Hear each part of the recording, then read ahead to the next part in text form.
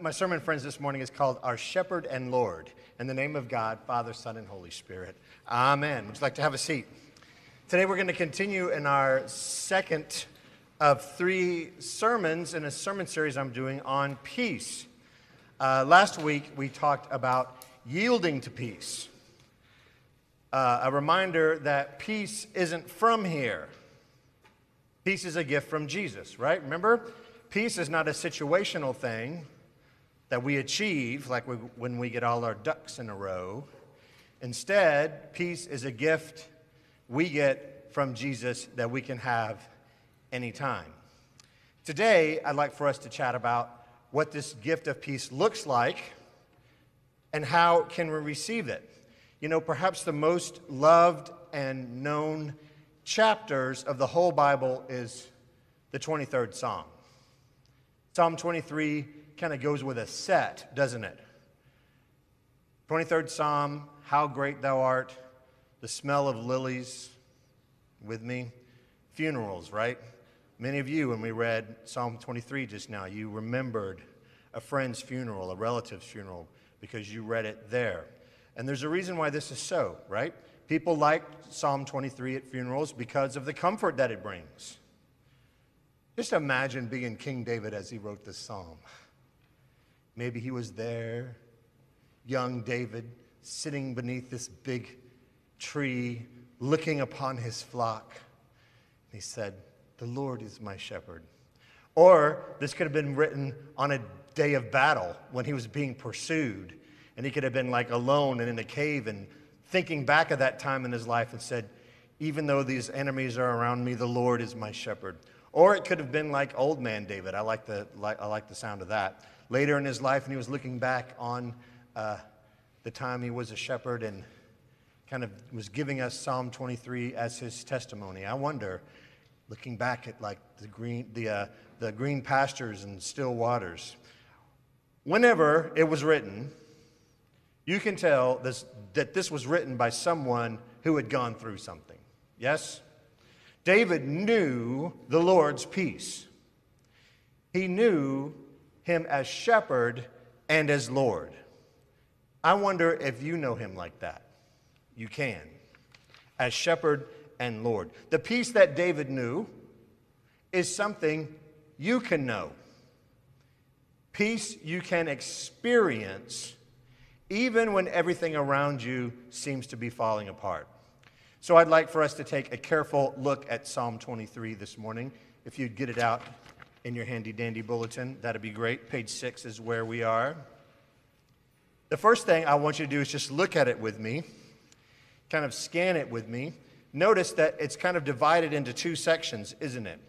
Verses 1 through 4, and then verses 5 and 6. Verses 1 through 4 look the images of a shepherd and verse 5 and 6, that image is left behind to speak of more like a faithful and victorious Lord. Shepherd and Lord. Sounds good to me, doesn't it, you? That's the kind of peace I need. A peace that provides, guides, and remains with me like a shepherd, and a peace that gives me confidence and a future like the Lord. Think of this with me. We need presence, the shepherd, and power, the Lord. A shepherd without a Lord is presence with no power. Say it with me presence. Is this microphone on? Check. One, two. Say it with me presence, power. Think of this a shepherd with no Lord is presence with no. That's nice, but it'll only keep you company in misery and defeat. The peace you receive is shallow because you know you're going down, because all you have is presence and no power. A Lord with no shepherd is power with no presence. It may bring us success, but there's no comfort in it. Peace, if it comes at all, is hollow and distance because you were never loved or understood. Power and no presence seeks only to fix, not to love. Maybe you have presence people in your life who love you but have no power to fix anything. Maybe you have power people in your life who just want to help you with their power, but don't love. We have good news today because Psalm 23 speaks of a Lord who is, who is both shepherd and Lord, presence and look at it with me. First, the shepherd. A shepherd who brings a presence and a peace that you can know. He provides, he guides, and he remains. Let's read verse 1 together. Ready? Here we go. The Lord is my shepherd, I shall not be in want. Notice it's, it's not the Lord who will be my shepherd, it's not the Lord who has been my shepherd. When is the Lord your shepherd? Right now. The Lord is my shepherd. He is a Lord who is, is, is with us looking after us, caring for us. Like the Good Shepherd, Jesus describes himself as being in our gospel reading we just heard.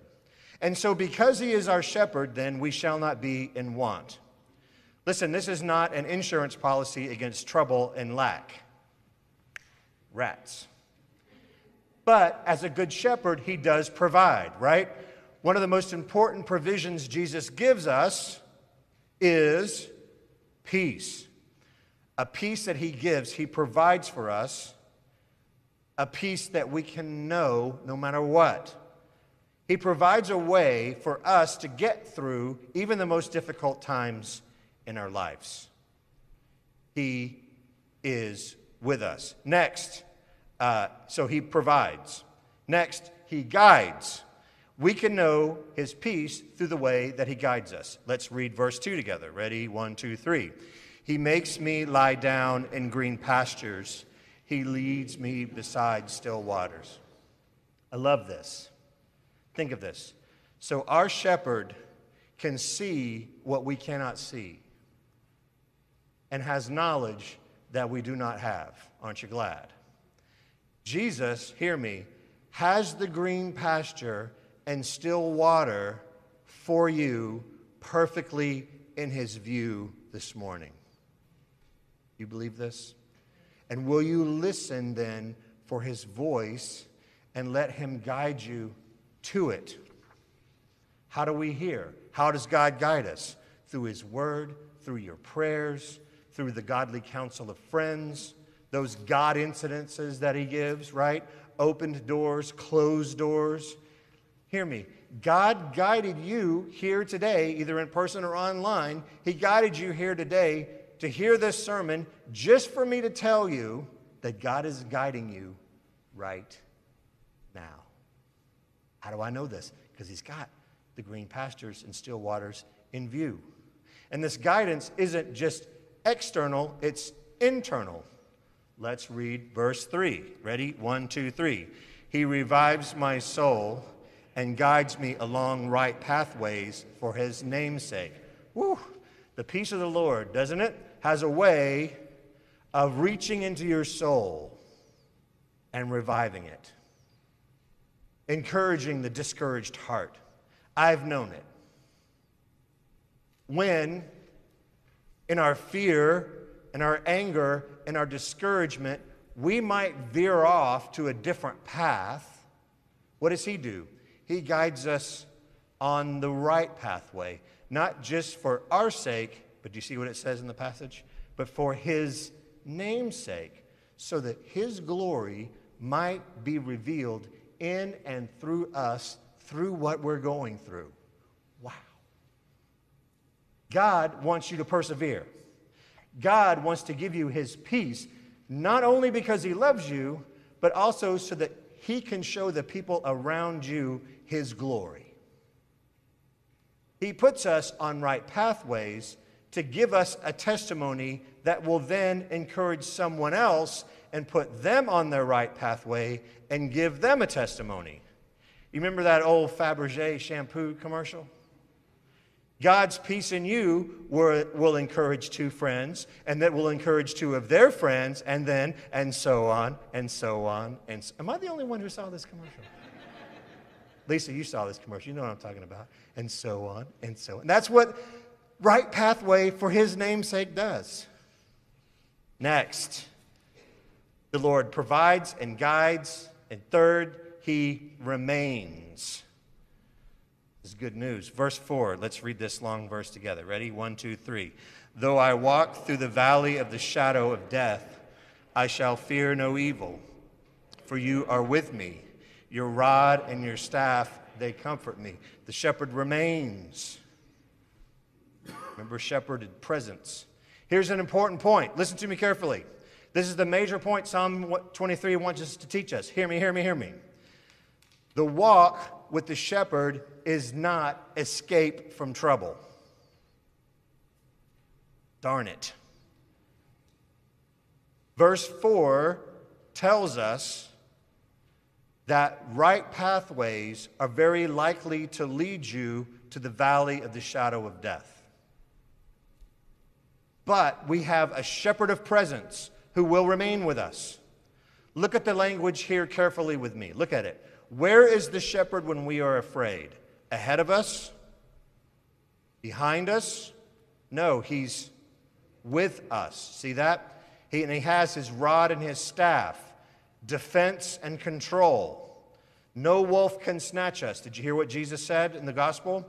He will not let us stray defense and control. He's going to protect us all the way, even in the valley of the shadow of death. And I love that language too, because you know what? The shadow of the death of the shadow of death is all we're actually going to get to feel, by the way. Did you know this? Death is conquered. We'll only know its shadow on the way to eternal life. But when we walk that valley, think of this every other faithful family member and friend is going to have to turn to leave you when you walk through the valley of the shadow of death. Death's valley is one where the traveler walks alone, except for the Good Shepherd who promises what? To walk right beside us. That's the shepherd who gives a peace we can know, provides, guides, and remains. The shepherd is presence. Now let's let's consider the Lord who gives us a peace that is lasting. He gives us a confidence and a future, the Lord of power. So the first thing he gives us is confidence. Say confidence. Oh, that was really unconfident way of saying confident. Y'all like, am I in a Baptist church this morning? Where am I? This man is making me speak out loud during the sermon. Is that right? Do I need to call the bishop? We're going to call the bishop when we get home. Knock yourself out. Say it with me. Confidence. Confidence. Verse 5, say it with me. You spread a table before me in the presence of those who trouble me. You have anointed my head with oil, and my cup is running over. Listen, it's one thing to survive a threat, but the Lord comes, the Lord of power comes and turns threats into victory. Even, look at this verse, even as the enemies are gathered outside in your lives, real or imagined, personal or intangible, those enemies, they're gathering around us. What's the Lord doing? He's calmly preparing a table for us to sit down and eat at. He anoints our head with oil like a, like a good friend would have done back then when you showed up for a dinner party. Even as our enemies are outside our doors crying out their threats, He fills our cup to running over. Hear me every fight that you are in this morning is a fixed fight. Confidence. We can know a peace no matter what we face, knowing that we will not be lost and that He has us in the palm of His hand, and no matter how it ends up, it ends up in victory. Am I making sense up here? Say yes. I have to close. Here's the final thing the Lord who gives us a confidence and a future. The final verse, say it with me, verse 6. Surely your goodness and mercy shall follow me all the days of my life, and I shall dwell in the house of the Lord forever. Have I ever told you guys that I have a dog at home? have I mentioned this? A million times, really? Have I mentioned this? Uh, I have this dog named Winston. He's about this big, and he's uh, brown and white. And uh, Winston follows me and or Lori from room to room wherever we go. if we're on the couch together and I get up and I go to get some water out of the fridge, what does Winston do? Pat, pat, pat, pat, follows me right in there. He wants to be where I am. Mostly because wherever I am, there is a prospect of snacks.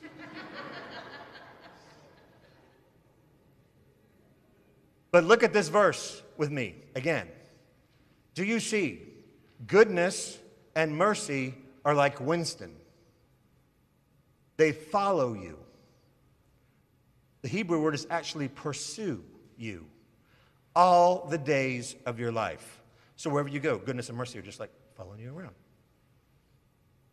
What's in your future? Goodness and mercy. We've already been given the image of the banquet earlier in the psalm, and that points to the Lord's Supper, doesn't it?